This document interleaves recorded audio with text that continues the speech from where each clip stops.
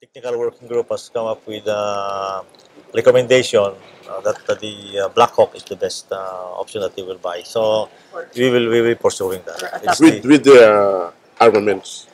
uh, the Black Hawk is not actually an attack helicopter. It's uh, combat utility, it's a transport. So pwede natin lagyan ng machine gun na kabila, but it's not really for attack. It's for bringing air supply, uh, troop, uh, troop, 16, sir, troop- 16. 16 oh. Sir, And when will the contract be signed?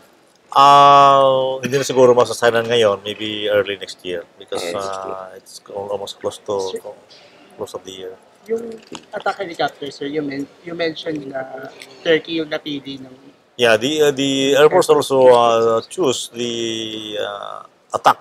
Mhm. It's called attack attack uh, helicopter of uh, Turkey. Turkey. Mhm. Anong branch, sir?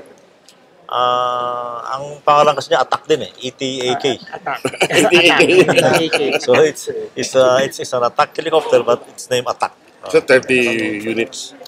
Um, no, uh, because uh, konti lang mabibili natin. I think we can only get uh, less than 10. Ah, less Less than than 10. Siguro mga 8 or whatever.